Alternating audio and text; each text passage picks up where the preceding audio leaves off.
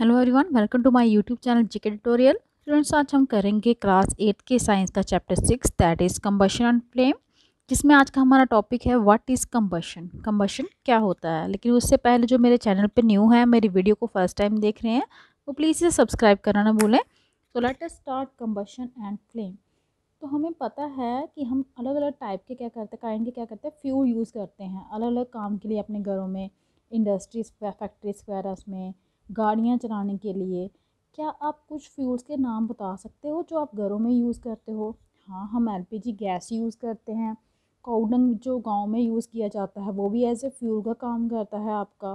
Kerosene oil जो stove में use होता है घरों में, वो भी आपका क्या है? फ्यूल है। नेक्स्ट आपको पूछा है कि क्या आप ऐसे फ्यूल का बता सकते हो जो ट्रेड बिज़नेस में इंडस्ट्रीज़ में यूज़ होता है? तो कोल हो गया आपका चारकोल हो गया, ये आपका इंडस्ट्रीज़ में यूज़ होता है। कौन से टाइप के फ्यूल हैं ये यूज़ किए जाते हैं ऑटोमोबाइल गाड़ियाँ चलाने के लिए, वो भी आप जानते हैं। डीजल और पेट्रोल का यूज़ होता है इन सब के लिए।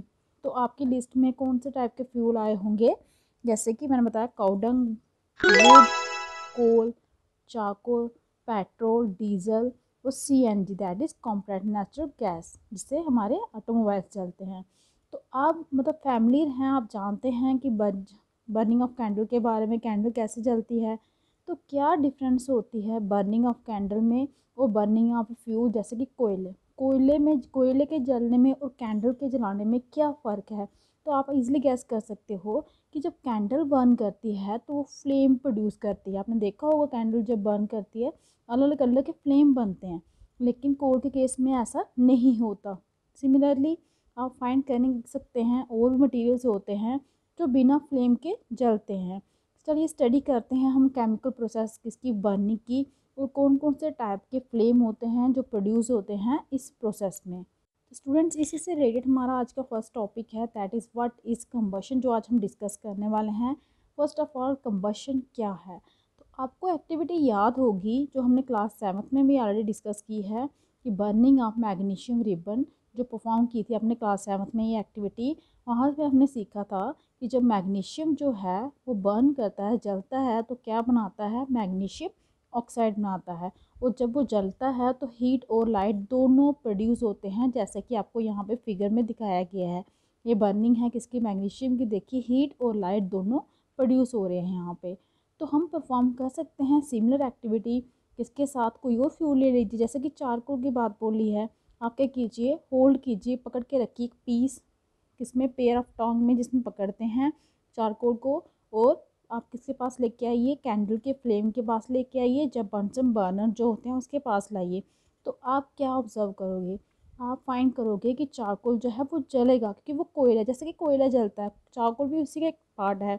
तो वो भी बर्न करेगा एयर में और प्रोड्यूस करेगा carbon dioxide heat and light इस तरह से चारकोल भी आपका क्या हो गया? फ्यूल हो गया।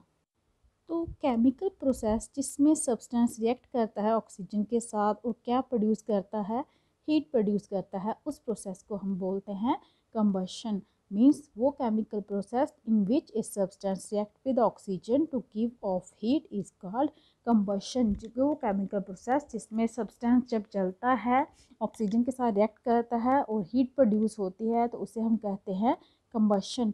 और वो सब्सटेंस जो अंडरगो कंबशन होती है, जिसके जिसके कारण कंबशन होती है, जो जलता है, उसे हम बोलते हैं कंबस्टिबल जैसे यहाँ पे चारकोल था तो चारकोल इसे कंबस्टिबल सब्सटेंस और इसी कंबस्टिबल सब्सटेंस को हम फ्यूल बोलते हैं। जैसे कि कोल पेट्रोल डीजल ये आपके कंबस्टिबल सब्सटेंस हैं, और इन्हें हम फ्यूल भी कहते हैं। फ्यूल आपका सॉलिड हो सकता है, जैसे कि कोल चारकोल हो गए, आपका लिक्विड हो सकता है, जैसे पेट्रोल डीजल कैरोसिन ऑयल और गैसेस भी हो सकती है, जैसे कि CNG gas LPG gas sometime क्या होता है कि लाइट भी इनके जलने से जब कंबशन होती है तो लाइट भी प्रोड्यूस होती है। हीट के साथ साथ फ्लेम भी प्रोड्यूस हो सकता है, या सिंपल ग्लो भी हो सकता है। जैसे कि आप कोयले को जलाते हो तो उसमें फ्लेम प्रोड्यूस नहीं होता, लेकिन इसमें से लाइट का ग्लो आता है। कैंडल जलाते हो तो फ्लेम आता है। गैस एलपीजी गैस को जलाते हो तो उसमें से फ्लेम आता है। लाइट हीट दोनों आ रहे होते हैं। तो ये जो रिएक्शन हमने मेंशन की यहाँ पे, उसमें मैग्नीशियम और चारकोल दोनों के हैं आपके कंबस्टिबल सब्सटेंस है। सिंपल वे में कहा जाए तो जितने भी आपके फ्यूल होते हैं, वो सब के सब क्या होते हैं? कंबस्टिबल सब्सटेंस होते हैं। इसी से रिलेटेड आपको यहाँ पे एक एक्टिविटी दी गई है। आपने क्या करने हैं? कुछ मटेरियल्स लेंगे। स्ट्रा हो गया आपका। स्ट्रा आपको पता है, सूखी घास बोल सकते हो, जब भूसा जिसको बोलते हो आप मैच स्टिक ले सकते हो कैरोसिन आयर ले सकते हो paper, iron nail, stone pieces, glass, ये सब चीज़ें आपने लेनी है और अपने टीचर के सुपरविज़न में इन सभी को एक एक करके आपने क्या करना है, बर्न करना है, जलाना है। अगर कंबशन हुई तो उस मटेरियल को हम रखेंगे कम्बस्टिबल वाले कॉलम में। अदरवाइज़ हम उसके क्या बोलेंगे? नॉन कम्बस्टिबल और ये सारा आपने डाटा कहाँ पे फिल करना है? आपने see table six point one में। अब सबसे पहले देखिए बात है वुड की। तो वुड तो जलता है तो हमें वो कहाँ पे आएगा? कम्बस्टिबल की कैटेगरी में आएगा। आपका पेपर भी बर्न करता है, ये भी कम्बस्टिबल है। आयरन के नेल बर्न नहीं करते, ये नॉन कम्बस्टिबल में आ गया।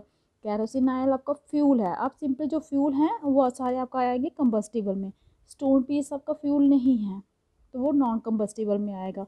स्टार जो है आपका सूखा, सूखी घास है, वो भी जल जाती है। ये भी आपके कम्बस्टिबल में आएगी। चारकोल तो आपका फ्यूल है, ये भी कम्बस्टिबल में आएगा।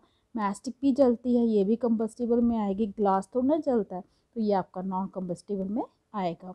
तो आप और सब्सटेंस के नेम बता सकते हैं जो कम्बस्टिबल हैं। तो इसमें अभी आपके पेट्रोल नहीं था डीजल नहीं था एलपीजी गैस नहीं थी सीएनजी नहीं है, वो सब भी क्या हैं आपके कम्बस्टिबल सब्सटेंस है। चलिए इन्वेस्टिगेट करते हैं कंडीशन जिसके अंडर कम्बशन होती है, क्योंकि कम्बशन जलना किसी चीज़ का ऐसे ही नहीं हो जाता। उसके लिए कोई ना कोई कंडीशंस होती है जो क्या चाहिए होती नेसेसरी होती हैं।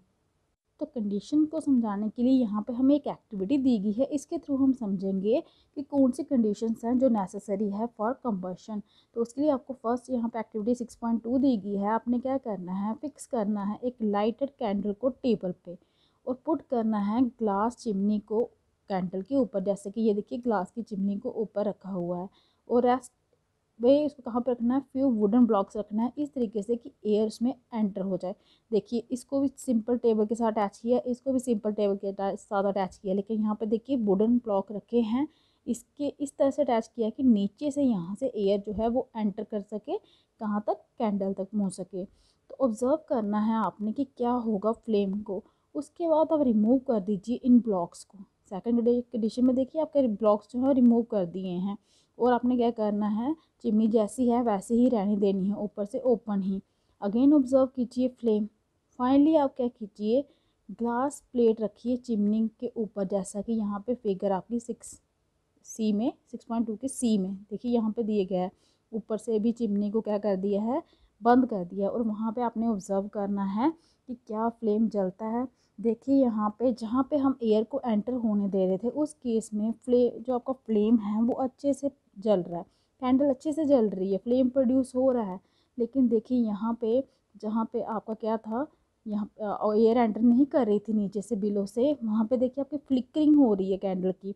वो जल रही है, लेकिन हिल हिल के जल रही है। पूरी मतलब फ्लेम उसका अच्छा प्रोड्यूस नहीं हो रहा। और इस केस में देखिए, ना ही ऊपर से एयर है, ना ही नीचे से एयर है। इस केस में कैंडल बुझ गई है, और स्मोक भी प्रोड्यूस हो रहा है। स्मोक तो यहाँ पे भी प्रोड्यूस हो रहा था, लेकिन यहाँ पे कैंडल बिल्कुल ही जो है बुझ गई है। तो यहाँ से इन कंडीशन से हमें ये पता चला कि हमें जलाने के लिए कंबशन के लिए हमारी एयर क्या है? नेसेसरी है। कैंडल बंद कर रही थी अच्छी तरह से। केस ए में जब एयर एंटर हो रही थी below the chimney case B में क्या हुआ? एयर थी वो चिमनी में एंटर नहीं कर रही थी नीचे से। तो फ्लेम फ्लिक कर रहा था और स्मोक भी प्रोड्यूस कर रहा था। ए सी में तो बिल्कुल एयर एंटर हुई नहीं। तो इसीलिए कैंडल भी क्या हो गई? ऑफ़ हो गई। वो जली ही नहीं। इसका मतलब कंबशन के लिए आपकी कौन सी कंडीशन होना ज़रूरी है? एयर जो है वो नेसेसरी है यहाँ पे। नेक्स्ट आपको फिर से यहाँ पे एक एक्टिविटी दी गई है एक्टिविटी सिक्स पॉइंट थ्री इसमें आपने क्या करना है? पीस ऑफ़ बर्निंग वुड या चारकोल का कहाँ पे रखना है? आयरन की प्लेट पे या जो तवा जिसमें आप घर में खाना बनाते हो, उसके ऊपर रखना है। उसको कवर करना है ग्लास जार के साथ या टम्बलर के साथ या ट्रांसपेरेंट प्लास्टिक जार के साथ।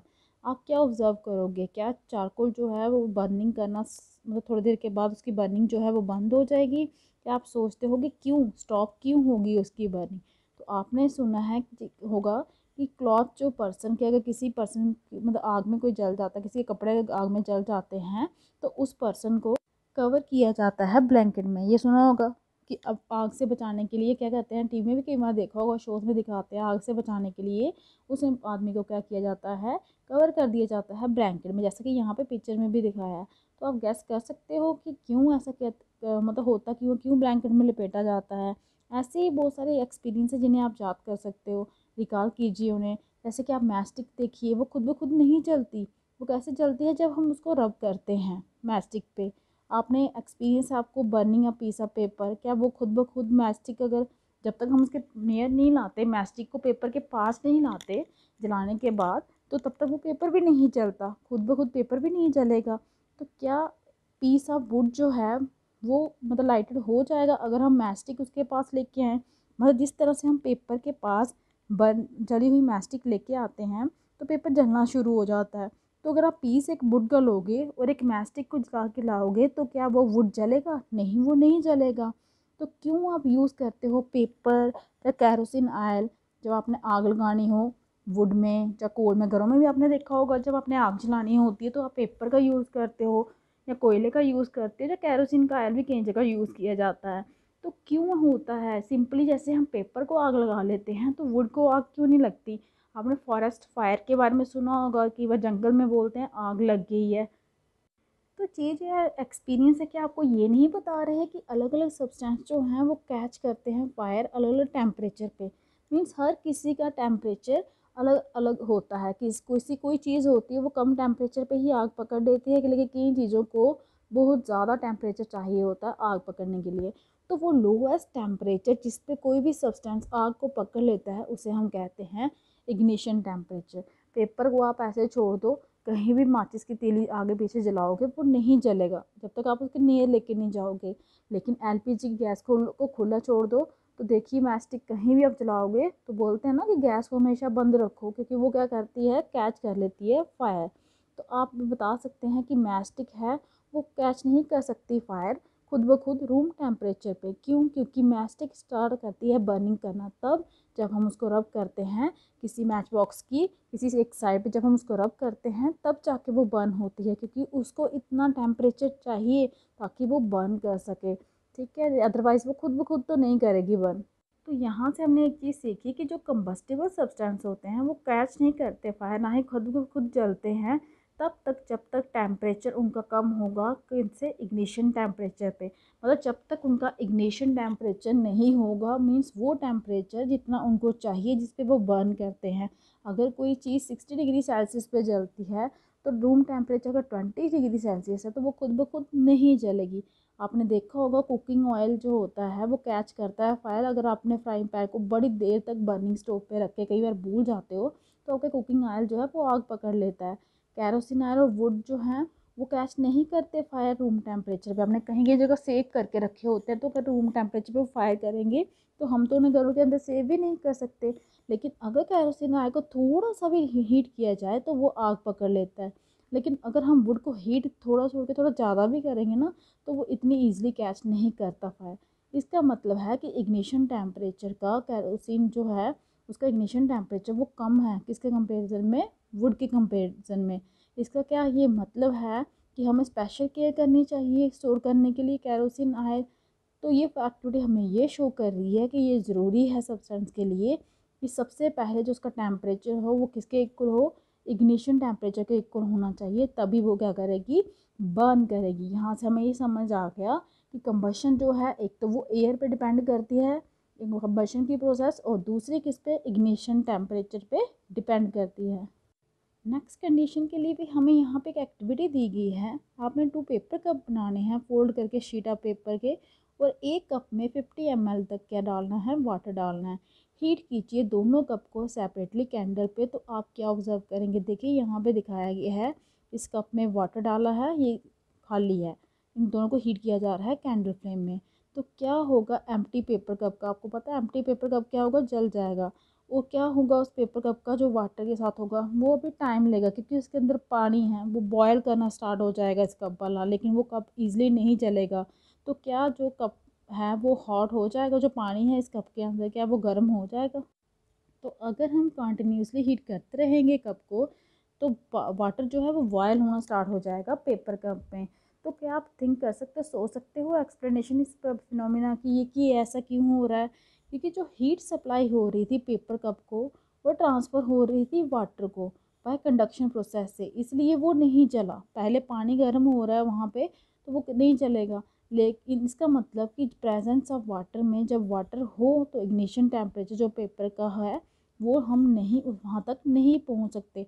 ऐसे तो आप इजीली पेपर को जला देते हो, लेकिन अब कैंडल पे भी जला रहे हो, बीच में वाटर डाला हुआ है, लेकिन तब भी उसका इग्निशन टेम्परेचर जो है पेपर का, हम वहाँ तक नहीं पहुँच रहे। इसलिए वो बर्न नहीं हुआ।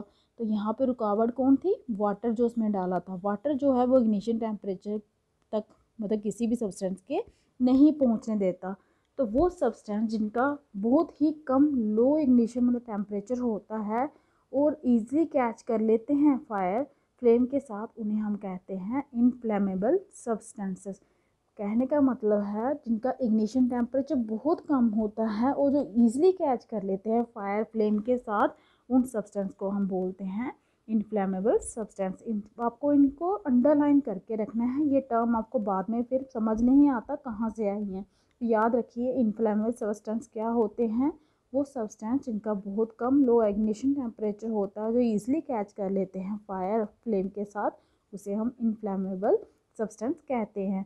एग्ज़ाम्पल कौन से हैं इनफ्लेमेबल सब्सटेंस के? आपका पेट्रोल हो गया अल्कोहल हो गया एलपीजी गैस आपकी आपकी सीएनजी गैस बोल सकते हो कैरोसिन ये सभी एग्ज़ाम्पल जो हैं, ये किसके हैं? इनफ्लेमेबल सब्सटेंस के। तो यहाँ पे हमने तीन कंडीशन जो हैं वो डिस्कस कर ली हैं आपकी। फ़र्स्ट कंडीशन ये है कि एयर जो है नेसेसरी है फॉर कम्बशन दूसरी कंडीशन हमने यहाँ पे की है, यहाँ पे कि कोई भी सब्सटेंस है, वो तब बर्न करता है जब टेम्परेचर इक्वल टू किसकी हो इग्निशन टेम्परेचर इग्निशन टेम्परेचर कौन सा टेम्परेचर होता है? वो मिनिमम टेम्परेचर होता है, जिस पे कोई भी सब्सटेंस क्या करता है बर्न हो जाता है, जल जाता है। और आगे हमने किया इनफ्लेमेबल सब्सटेंस वो होते हैं जिनका लो इग्निशन टेम्परेचर होने के बावजूद वो ईज़िली कैच कर लेते हैं फायर उन्हें हम बोलते हैं इनफ्लेमेबल सब्सटेंस जैसे कि आपके डीजल हो गया पेट्रोल हो गया कैरोसिन आयन हो गया एलपीजी गैस हो गया। तो ये हमने डिस्कस किया व्हाट इज़ कम्बशन और कौन सी कंडीशंस हैं जो नेसेसरी हैं कम्बशन के लिए। आई होप कि आपको अच्छे से समझ आ गया होगा। अगर आपको कोई डाउट है तो आप कमेंट बॉक्स में जाके कमेंट कर सकते हैं। आपको हमारी वीडियो कैसी लगी, ये ज़रूर बताइएगा। अगर आपको मेरी वीडियो अच्छी लगी है तो प्लीज़ इसे लाइक कीजिए शेयर कीजिए और चैनल को सब्सक्राइब कीजिए ताकि आपको जो मेरी लेटेस्ट वीडियो हैं, वो टाइम टू टाइम मिलती रहे। आज के लिए इतना ही। Thank you